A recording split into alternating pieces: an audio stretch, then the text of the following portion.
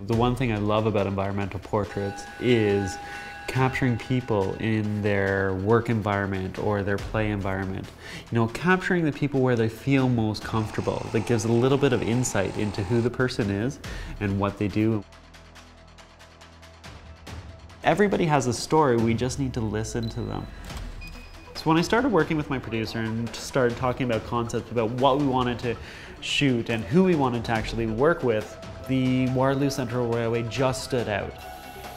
As people are working on a project or working for an organization or working for an NGO, we see what's happening on the forefront of it, but we never see the behind the scenes. So I wanted to bring a little bit of life to the actual people and characters that are actually working in the railway.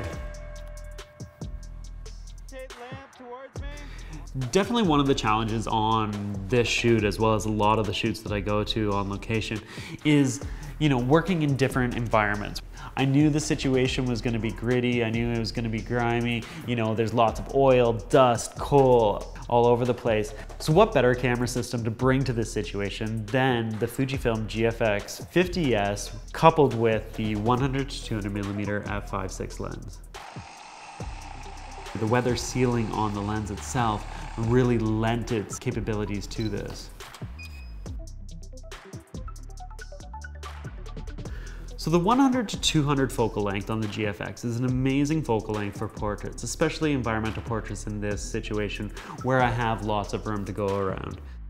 Utilizing this lens with the optical image stabilization also allow me to hand hold the camera in situations which I would normally have to be on a tripod.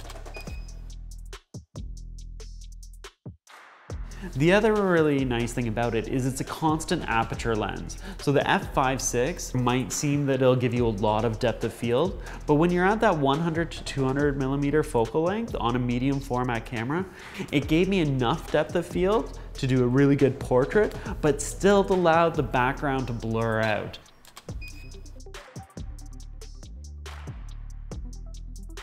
You know, I definitely love doing a single environmental portrait where the one main shot tells the story about the person. But with that, I always love to do little detail accent shots.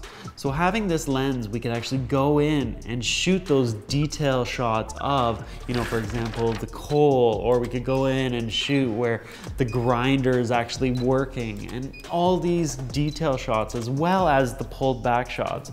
So without having to switch lenses, I could do this very quickly.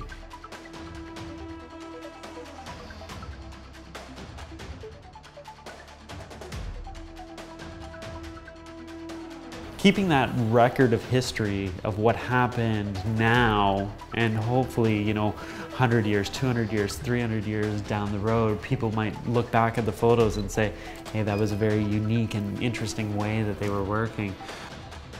It's one of the things that I want to actually keep doing through my career and through all my uh, personal projects as well as my commercial projects and creating this type of imagery over and over.